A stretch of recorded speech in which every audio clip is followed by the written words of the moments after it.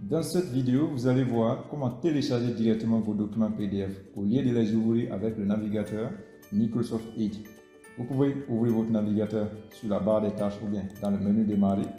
Lorsque vous ouvrez le navigateur, nous pouvons cliquer sur un lien qui mène vers un document PDF. Vous allez voir que le navigateur va ouvrir le document PDF. Au lieu de ça, nous pouvons dire à Microsoft Edge de pouvoir télécharger directement. Donc pour cela, vous allez cliquer sur le bouton en haut à droite sur le bouton paramètres. Vous cliquez sur paramètres.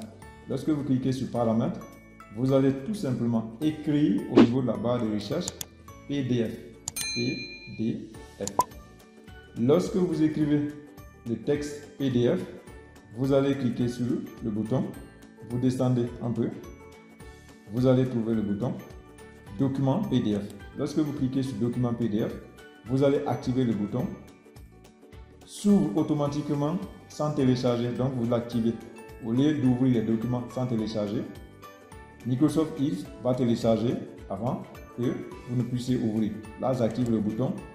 Maintenant, lorsque vous allez décider de cliquer sur un lien qui mène vers un PDF, ce fichier sera automatiquement téléchargé. Donc, c'est ce que vous pouvez voir ici. Donc, notre document PDF a été téléchargé avec le logiciel euh, Microsoft Edge. Maintenant, vous savez télécharger automatiquement vos documents PDF à l'aide de Microsoft Edge au lieu de les ouvrir.